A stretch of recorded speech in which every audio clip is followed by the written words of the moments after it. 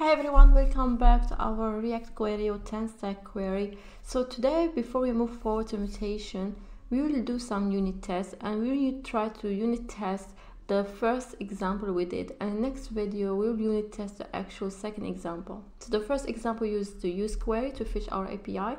The second demo we did was using the use queries, okay?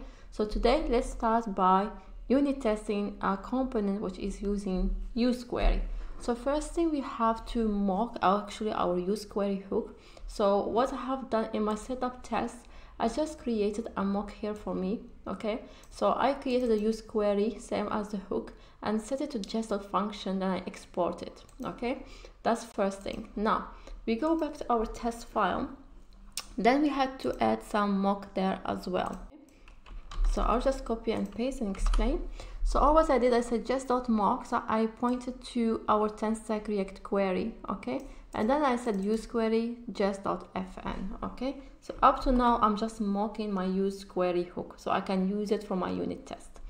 Now I will go and import our testing library. So import render. That will help me to render my components in just DOM and screen, so I can access my elements from and we are using react testing library of course. Now next thing we do is that we have to import our um, component that we want to test.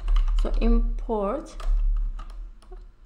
to do list from and we are in the same level.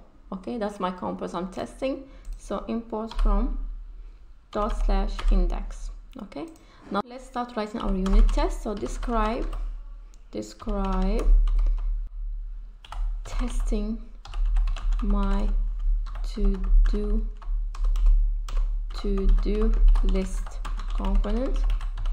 Okay. So I have to give description.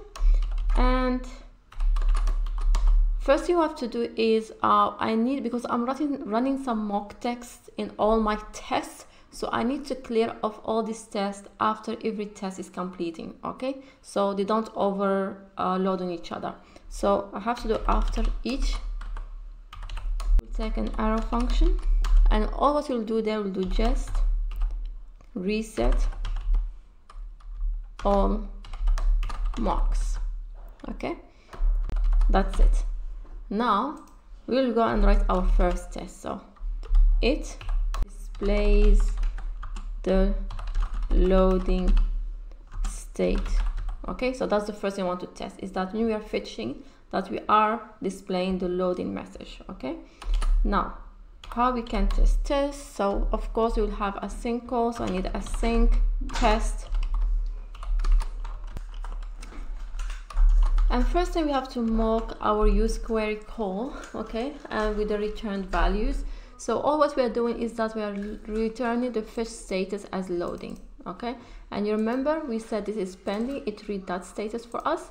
So now we can render our component, render, and also to do list, that's my component. Now I'll put my assertion, okay, which is expect that my screen will get an element by text get by text. And remember we displayed loading in case your query is still fetching. So I need to find a text by loading.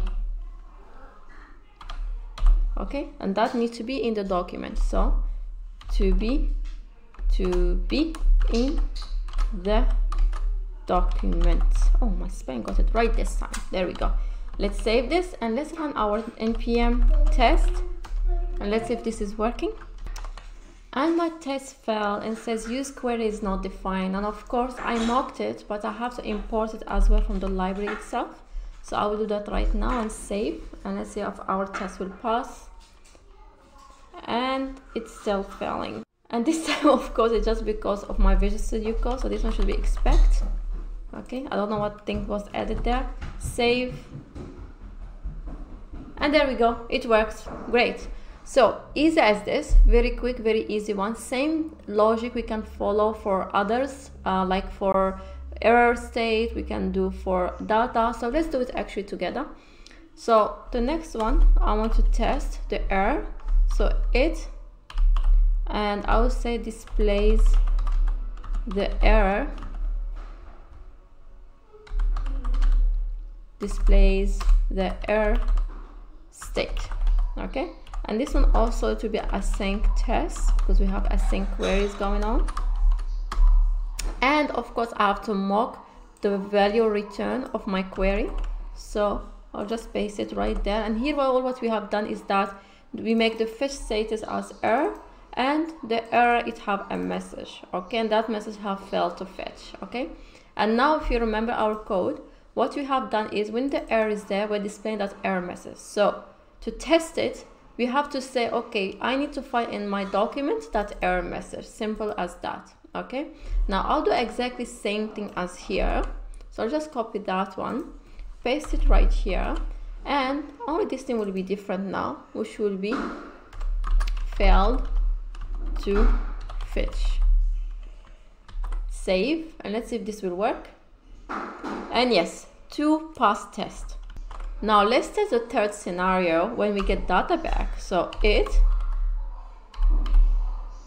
displays to-dos data.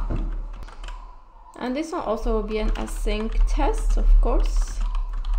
And I will mock uh, the query call with values, but this time we're saying first status is success, and then we're just passing one data back. Okay. Now again, same thing. We just have to uh, render our component and we have to find this test to do in our document. So I'll just put this one here and save. So you can see the unit test may sound scary but as soon you get the context and the ideas and you really know how your component works then it is really straightforward approach. Now in next video we'll see how we can uh, unit test the use queries hook